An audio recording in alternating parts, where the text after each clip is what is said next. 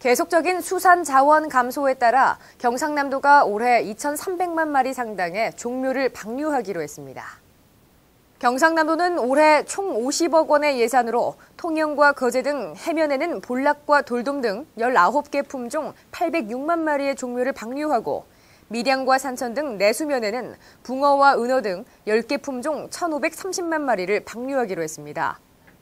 이와 함께 도내 14개 해역 22곳에 인공어초 시설을 짓고 통영 비진도 해역 등 두 곳에는 연안 바다 목장을 조성해 경남의 수산자원 회복으로 어업인의 소득이 증대될 것으로 기대하고 있습니다.